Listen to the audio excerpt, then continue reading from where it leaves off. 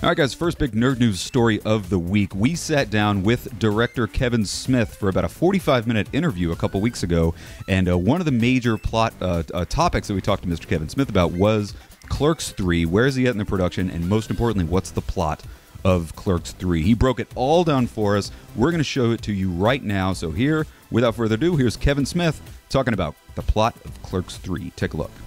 Um, I want to ask you. I mean, I, I know Twilight, uh, the Mallrats is your big thing you're working on right now. Uh, a couple weeks ago, you did announce uh, some plans for a Clerks Three. Yeah, yeah. Um, so my, I know you probably can't talk much about it, but I'm curious because you've said on record that uh, how, and I totally agree, how beautiful and poetic the ending of Clerks Two was. It was just a lovely ending. You, you know, you said how that's how you wanted it to end with that dolly shot, turns black and white. You got the milkmaid. I mean, all that stuff. What made you kind of want to go back to, to Dante and Randall? Oh, I was. I mean, look, you can end a movie with a lovely shot and be like, ah, that's good. But like, you know, once Jay and Silent Bob Strike Back was meant to be the end of the View Askewniverse. That's why God closes the book after the credits are all done. Alanis pops up, closes the book, and it's like we're done forever. Um, and then, like years later, when I went into Clerks 2, I wanted to grab Alanis to open it up with her opening the book. You know, because if you look very closely, and this is so stupid, but in Jay and Silent Bob Strike Back, God closes the book at the end of the movie.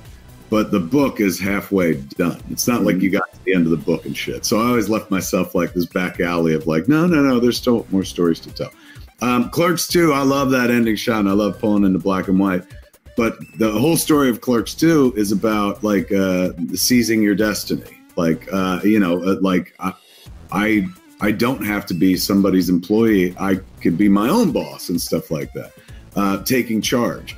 But the last shot of Clerks 2 is very much like be careful what you wish for. Because like you know you see them go like we're going to do this and this is what we need in life and this will be everything.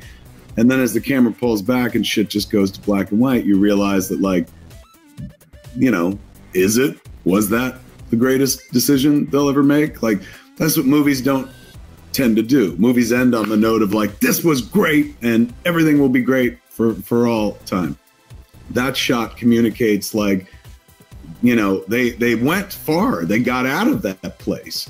And then their idea of victory was owning that place. And then they they own it and they won. And then they're sitting there going like did we? So that kind of leads into where we are in clerks 3 in clerks 3 we open with uh, randall having a massive heart attack. Um, i told jeff anderson that and he's like where'd you get that idea um, he had a massive heart attack, and uh, when he when he's in recovery, uh, Dante's there, and uh, Randall's just like, I almost fucking died tonight. That was it. Like I almost died. I'm 50 years old and I almost fucking died, and I have nothing to show for my life. What? I own a piece of a fucking convenience store in New Jersey.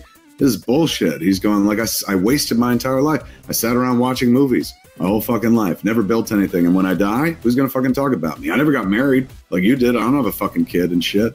I'm alone in this fucking world. And he goes, Well, no more, man. As soon as I get out of this hospital, I'm gonna go home and I'm gonna write a fucking movie about my life, celebrating my fucking life, telling my fucking story.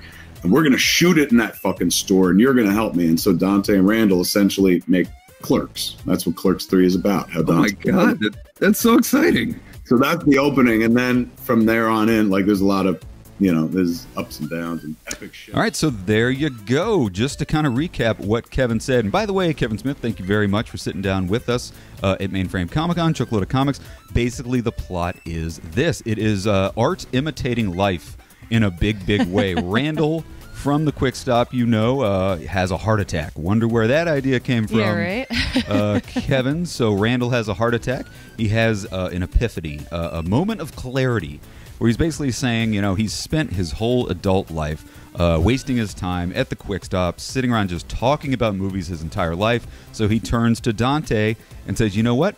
Let's make our own movie about working at the quick stop and i think they're actually going to call it clerks oh my gosh that's great i think they're dante and randall are going to make a movie called clerks and that's going to be uh, the, the premise of the film is them making their own movie about working at a convenience store. What this a great is, idea! I know, and it, like you were saying, it's like art imitating life, or yeah, art imitating yep. life. Because Kevin Smith, obviously, we all know he had that heart attack, and Yeah, this is going to be really. And then, of course, we all know he made Clerks, so Yeah. this is going to be exciting. I'm crazy excited about it. And I did like talking to Kevin Smith. We talked about a lot of stuff. We talked about the new Mallrats 2. We Mm-hmm. talked about Avengers Endgame and all that stuff. So you can find that, I believe, on the Mainframe Comic Con website.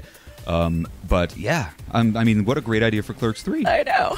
Super excited, guys. So let us know in the comment section how excited are you for Clerks 3? I don't think they've set a release date for it, but what do you think about this plot for Clerks 3 and basically what Kevin Smith said? I'm also curious, what do you think about the Mallrats 2, the Twilight of the Mallrats? Nice. Which is also uh, in production as we speak. So sound off in the comment section.